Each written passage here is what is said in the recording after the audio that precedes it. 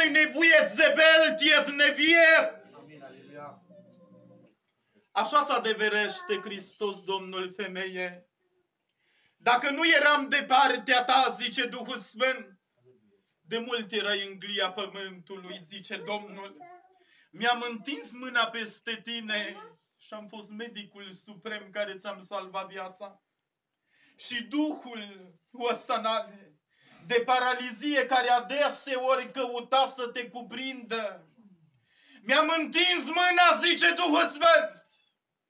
Și astăzi te-am ținut pe stâncă căci iubesc sufletul tău. Scutură-te de toate lucrurile care nu-mi plac, zice Domnul. Sunt lucruri care le porți, zice Domnul, și încă se luptă în jurul tău și caută să te robească, zice Domnul. Iată strigă Duhul Sfânt, ți-am făcut eliberarea, zice Hristos Domnul. M-am atins, zice Domnul oștirilor, și am în vedere să lucrez, zice Duhul Sfânt. Iată, zice Domnul, prin Duhul Sfânt se vede o dorință. Se vede o taină cu care ai venit înaintea prezenței mele. Mâna mea nu s-a scurtat. Sunt același din veșnicii. Și astăzi îți spun că iubesc sufletul tău. Rămâi la izvor, zice Domnul, și caută să faci voia mea, zice Duhul Sfânt. Ridică-te, zice Domnul! Căci am în vedere să las iertare.